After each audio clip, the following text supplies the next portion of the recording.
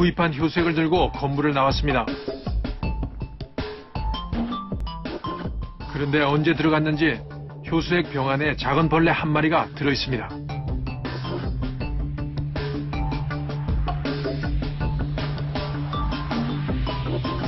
무심코 효수액 병을 상온에 둔 채로 한 달이 지났습니다.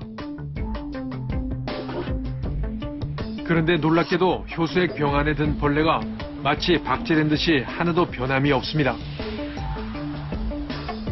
30도가 넘는 더운 여름날 이게 가능할까요? 별내가 든 효수액 병을 들고 미생물 전문가를 찾았습니다. 어, 나왔네. 날개도 있고.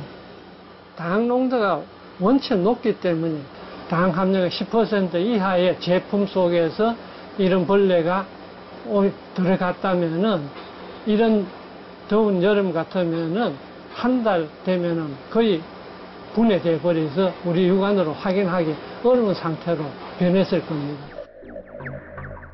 정말 설탕의 농도 때문에 벌레가 썩지 않은 걸까요?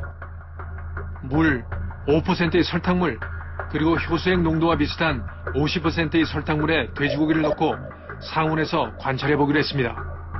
일주일 뒤 50%의 설탕물을 제외하고 물이 뿌옇게 흐려지며 냄새가 나기 시작합니다. 그렇다면 고기에는 어떤 변화가 있을까? 고기를 꺼내 확인해 봤습니다. 이제 육질이 완전 물렁물렁하게 됩니다. 이건 아직까지 육질이 단단, 아주 단단한 거 보면 흐물흐물하게 변한 고기에 비해 50%의 설탕물에 들어있었던 고기는 거의 변화가 없습니다. 당에 의해서 방부 역할을 하기 때문에 당절임되어 있는 상태이기 때문에 미생물이 정식을 전혀 할 수가 없는 겁니다. 미생물이 생육을 못하는 환경에서 발효가 일어났다 그러면 이건 노벨상 감입니다.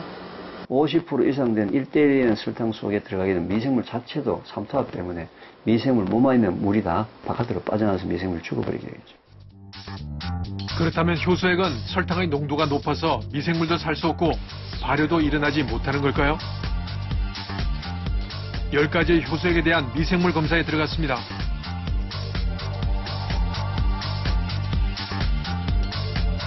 그 결과 효모균수는 모두 0. 살아있는 미생물과 유산균의 수도 굉장히 적었습니다.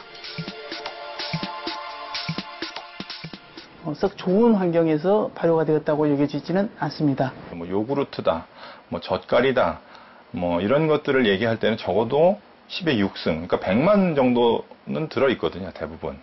그러니까 발효가 그 정도가 돼야지 미생물들이 충분히 자라면서 자기들이 어떤 성분들을 변화시키는데 효모나 유산균 수가 굉장히 적은 걸로 봐서는 유익한 발효가 일어났다라고 보기는 사실 좀 어려운 부분이 있다고 생각합니다.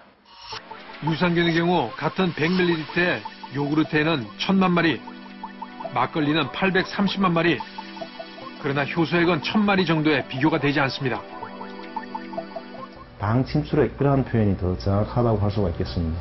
절여가지고 오랫동안 보관을 해야 되는 보관의 방법인데 침출 보관의 방법인데 이걸 발효라고 표현하면은 말이 안 맞는 거죠.